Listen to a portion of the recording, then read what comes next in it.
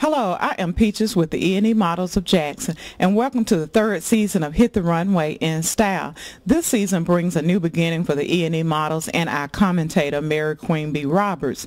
We will not only be doing fashion shows, but we will be doing makeovers on the set.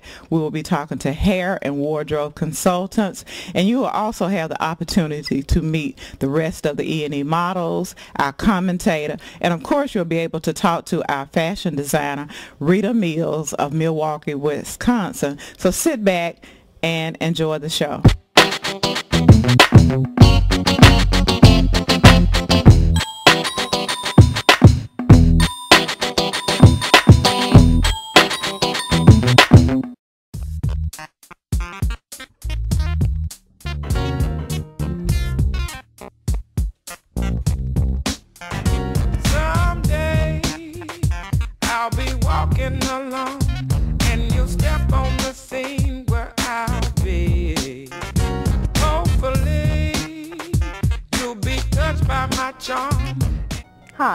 Name is Tawana Lyles, and I'm one of the E&E models, plus size models of Jackson, Mississippi.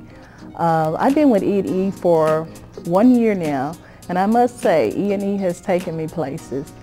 When I first got started a year ago at E&E, I was a pageant mom, and I, I mean, a really serious pageant mom. I my, started my daughter out with pageants uh, when she was the age one through five year old. We did state and national pageants. And when she got kind of burned out with uh, modeling, with, with pageants, so I decided, okay, well, I still have that drive, so I decided to model myself. So I joined E&E, and when I first came in with E&E, I was kind of stuck on just pageant only. And what they did was mold me into, uh, they showed me how to do the runway, and I combined pageant and runway modeling together, and it's it, it came out to be a success. So right now I feel comfortable modeling and I have combined the, the pageant and the modeling together. And uh, we've done a lot this year. Last year, 2006, modeling. Uh, we did the Jackson uh, Expo. We did um, bridal shows, so many things, and it's given me confidence to uh, model. So uh, you will see a lot of me and the E&E models coming up for the year 2007. I, I must say I love modeling it has built my confidence and uh, I express myself through modeling. If you have a dream to become a model, I think you need to go for it because if you have a desire, you can be a model. You just have to train and mold yourself. Hi, my name is Diamond Taylor and I'm with the E&E Models. I've been with the group um, going on two years now and I am very excited to be a part of a great, um, great group, great group, of ladies, professional ladies. Um, my stage name is White Diamond and Diamond actually is my real name. I've been with the group um, for about two years now and it has been a wonderful experience for me. I'm a former black gold dancer. Um, I'm actually now more out in the public than I was before, even when I was dancing on TV with uh, Lee King and Hollis Pippins, the late great Hollis Pippins. I am currently a background singer now for Billy Soul which I am now a scat cat, here kitty kitty. Um, E&E has done so many wonderful things for me and has opened up so many doors for me. We have participated in some of the events such as the Jackson Music Awards, the Ebony Expo. We do a lot of things. We talk a lot um, about health. Um, we offer different classes and different different things just to help help you become a better person. Um, we encourage plus size models of any shape and size to audition and to, to boost your confidence up. Um, it's a great experience. You learn a lot from the ladies that you work around, um, the public, you meet people, and it's just a great experience. So E&E has been a wonderful venture for myself and it can be for you too.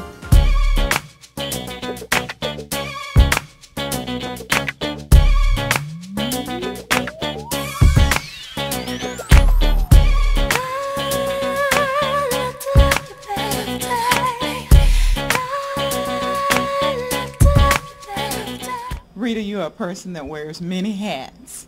And of course, your fashions are no stranger to Jackson. Will you tell our viewers about your boutique, about the fashion shows, and anything else that you have going on in Milwaukee? I have so much going on in Milwaukee Peaches. Uh, we have a high school. My husband and I and Dr. Ivory have a high school in Milwaukee. I have a modeling school. I have a boutique. And my clothes is usually one of a kind. Once you see what I do, you would always want my clothes because no one would ever uh, have anything like it. Proud to be on the team with you guys as your designer. I just like fashion so much to, it's part of my life and that's a gift from God. Well, where do you get your inspiration from? Where, uh, where, where does that come from? Oh, it just come from all over. It's just I don't know. I've just been doing it so long to it just come uh, from my sister, my husband, and just people just inspire me so much.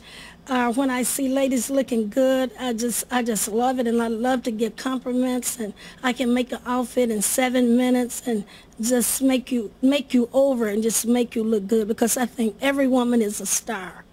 That's well, you know, you were here only about two or three weeks ago, and you did the Ebony Expo at the Jackson Medical Mall, and of course, E&E Models represented you in your designs, and it just seemed like everybody accepted you, they accepted the fashions, and they were just excited. So just kind of tell us and let us know a little bit a, a little bit about how uh, that came about and and some of your designs that we showed um, at that time. It came about you guys asked me would I bring some of my fashion in so you guys can model because I am your designer. That's how they got in. Then I brought a lots of jewelry that I have at my store. And we're going to take a break and we'll be right back and we're going to talk with her niece and also her husband.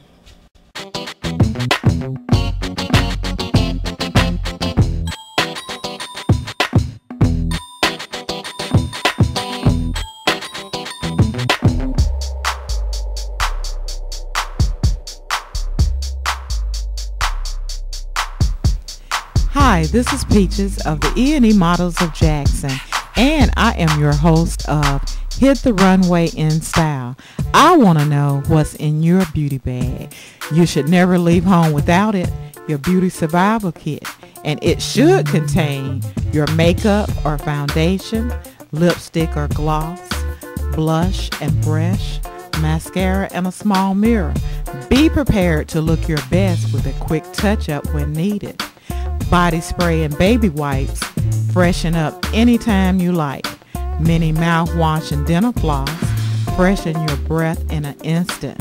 Travel size lotion to ward off any unwanted flakes. And lastly, depending on the size of your beauty bag, you may wish to compile and personalize your bag with more or less items to meet your own needs. So, what's in your beauty bag?